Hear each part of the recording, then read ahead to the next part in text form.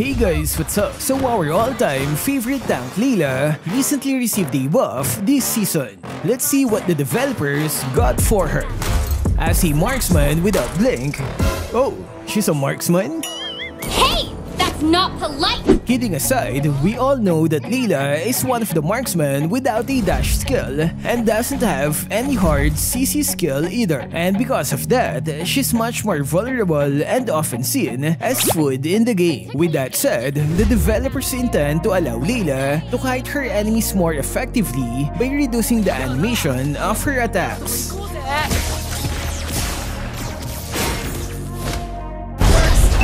The second skill, Slow Effect from Mark Detonation, was changed to AoE Stun as well.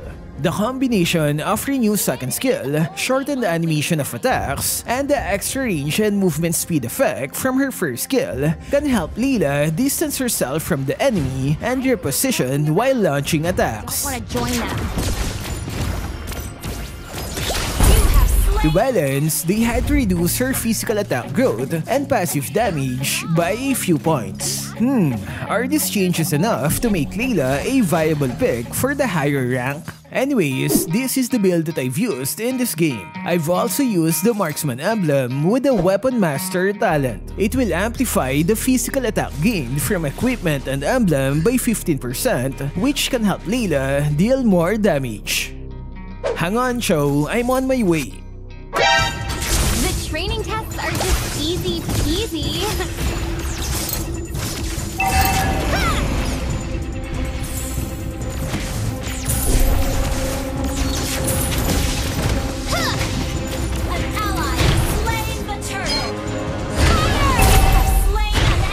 Well played, Chou. Now we're free to get some gold on the tower.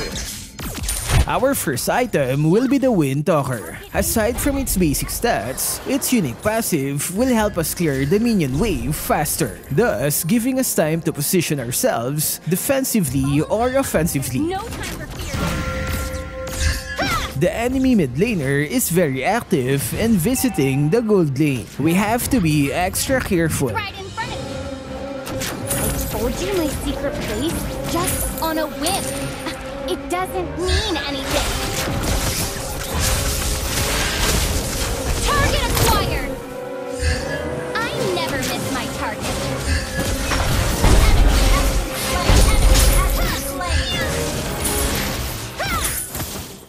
Now we can take all the gold from the tower without worries. Let's recall and recover our mana first.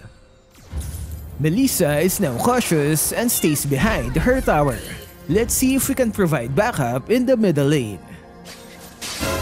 I got you, Lance.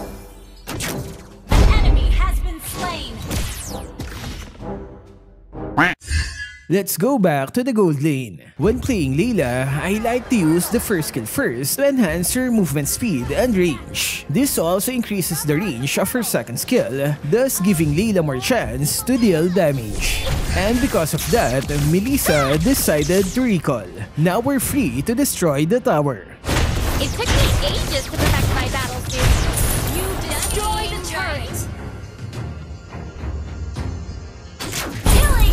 Well played, Chou. Time to help the middle lane. Launch attack farm first. I never miss my target. Fire! Mega kill. Yeah. Ha!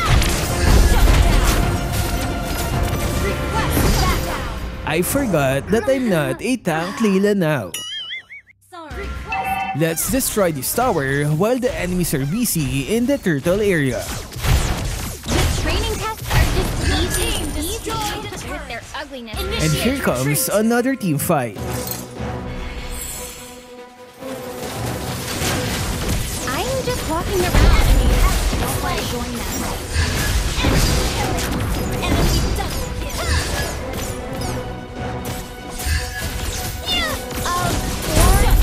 Thanks, Cecilia. It's me. Ally has been slain.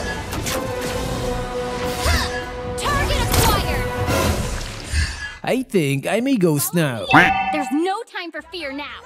The first lord has spawned. Let's get into position for some kiting.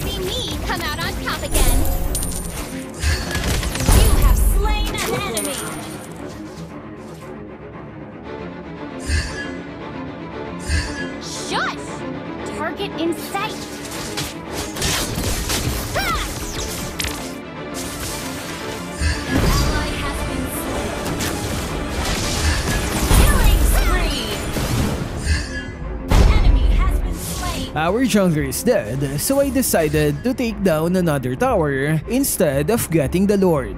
Rules?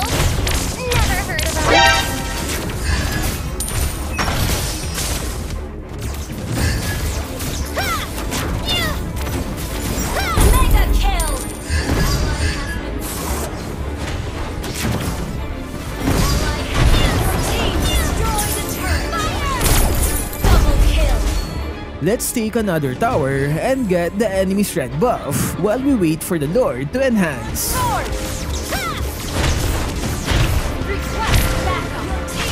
Auto E.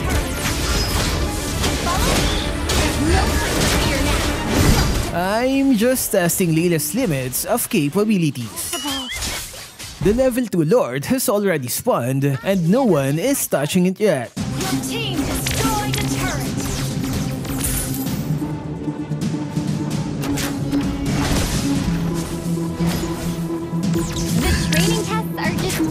Not again, Lapu Lapu.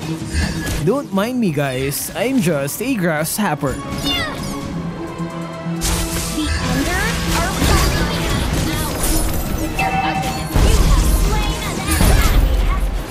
Three of our enemies are dead.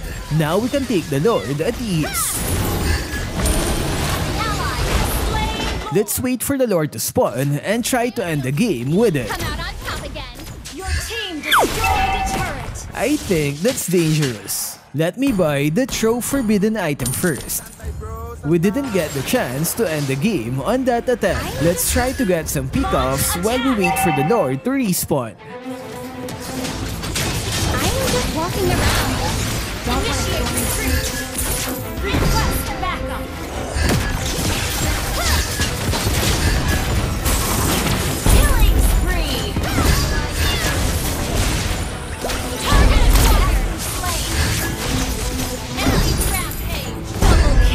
Our enemies are dead, and our show is on its way to destroy the enemy's base. Can he make it? Let's try to keep Selena busy then. And for the last time, well played, Chou. So what can you say about Layla's buff? Is this enough to compete with the other marksmen? Share your thoughts in the comment section. That's all for this video. Stay safe and thank you for watching.